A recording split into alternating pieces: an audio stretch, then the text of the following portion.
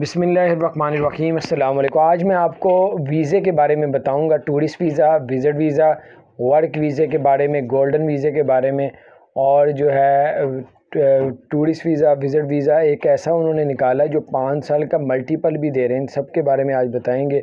सबसे पहले तो आपसे कहूँगा, चैनल को ज़रूर सब्सक्राइब कर दें, बेल आइकन को प्रेस कर दें। आपको बता दें, वर्क वीज़ा दिए जा रहे हैं पाकिस्तान में भी, इंडिया में भी, हालाँकि सूरत हाल पूरी दुनिया में थोड़ा थोड़ा फिर दोबारा से रुख चेंज हो रहा है कोरोना की वजह से। कुछ पाबंदियाँ पाकिस्तान ने लगाई हैं, कुछ पाबंदियाँ फ़्लाइटों में इंडिया ने लगा दी हैं, कुछ यू ने लगाई कुछ हम सऊदी अरब ने लगाई उसके बावजूद पाकिस्तान की सूरत हाल बेहतर है, इंडिया की भी कुछ बेहतर है, बांग्लादेश की भी बेहतर है। हालाँकि इंडिया में दो जो है वो में कोरोना के जो है वो यूएई में भी इस तरह शो हुए, लेकिन उसके बावजूद बेहतर है सारे मामला। तो वर्क वीज़े पाकिस्तानियों को भी मिल रहे हैं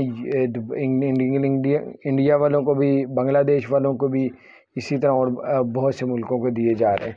तो ये वर्क वीज़े जो हैं, आप लोग अगर लेके जाते हैं तो जो भी इसकी रिक्वायरमेंट है वो आपको पता है। उसके बाद जो आपको बताते चलें कि टूरिस्ट वीज़े के बारे में एक उन्होंने ऐसा वीज़ा निकाला है मल्टीपल टूरिस्ट वीज़ा, जो जो मल्टीनेशनल कंपनी है, जो विज़िट करती हैं ऑफिसों में, जिनके चक्कर बहुत ज़्यादा लगते हैं, उनको पाँच पाँच साल के मल्टीपल टूरिस्ट वीज़े दे दिए जाएँगे, जिसमें से वो नब्बे दिन लगातार रह सकेंगे।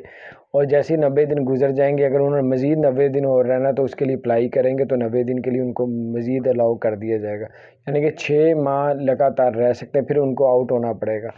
इस तरह पाँच साल का वीज़ा होगा, जिस तरह मल्टीपल अमेरिका ने वीज़े का सिस्टम शुरू किया, वही अब यू यू ने अभी स्टेप बाय स्टेप कर रहे हैं क्योंकि अभी कंपनी के एम्प्लॉज़ को, जो मैनेजर हैं, जो मीटिंग्स के लिए आते हैं, उन लोगों को दिए जा रहे हैं। उसके बाद जो है टूरिस्ट वीज़ा विज़िट वीज़े की भी रेशो ठीक है, सत्तर परसेंट पाकिस्तान में वीज़े लग रहे हैं, तीस परसेंट रिजेक्ट भी हो रहे हैं। तो बाहर आप अगर ट्रैवल करते हैं तो ट्रैवल के लिए कुछ, यही है कि आप अपने साथ पैसे भी लेके जाएँ होटल बुकिंग भी करवाएँ। तो ये थी कुछ अपडेट्स उसके अलावा गोल्डन वीज़े के बारे में बताऊँगा। गोल्डन वीज़ा बहुत लोगों को मिल रहा है। अभी जो है, वो अब वसीम अक्रम को मिला है, शुएब अख्तर को मिल गया, शुएब मलिक को मिल गया पाकिस्तान में और बहुत से आम लोगों को भी मिले हैं। और अगर आप उधर ही हैं तो आप भी गोल्डन वीज़ा अप्लाई करके इससे फ़ायदा उठा सकें। गोल्डन वीज़े का ये है कि ढाई सौ दिरम तकरीबन फ़ीस है और दस साल का वीज़ा है। बार बार आपको खपना नहीं पड़ेगा।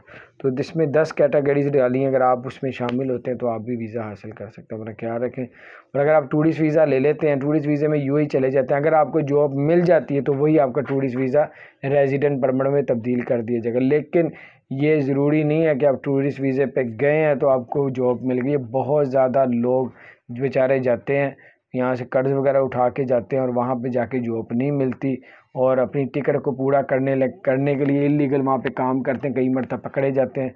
तो बहरहाल वो आप लोग ये ना सोच के जाएँ कि आपको हंड्रेड परसेंट वहाँ पर कोई जॉब मिलती हो तो फिर आप लोग ट्रैवल करें। तो वैसे जो बहुत बड़ा मसला ही है बहुत से लोग जाते हैं, कामयाब नहीं होते, फिर उनको वापस आना पड़ता है। कोई रिश्तेदार आपका कोई जानने वाला, अगर वो जॉब आपको वाकई हंड्रेड परसेंट देता है, फिर आप लोग ट्रैवल कर अपना ख्याल रखें। चैनल को सब्सक्राइब